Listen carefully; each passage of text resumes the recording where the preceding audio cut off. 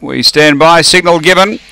Right to go. Race 10 here at Strathalbyn on their way. Oh, great line out. Now Speedy Jabak getting busy early. It's going to lead from Stonebuster, White Nike. Uh, then Baron Destiny. Behind those is Pippi Star. And uh, next Dinah Haley easy going out the back. Westlake Snares straightening up. White Nike moving up to Speedy Jabak who's lifting. They drive to the line.